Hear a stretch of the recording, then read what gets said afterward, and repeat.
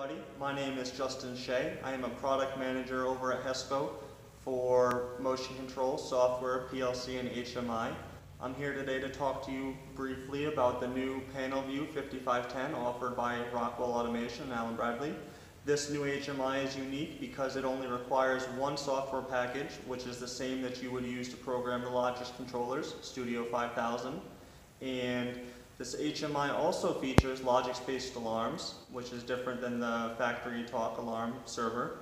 The HMI also features an emulator for testing your screens ahead of time before deployment. And it features a dual-core processor with 1 gigabyte RAM and 4 gigabytes of flash memory.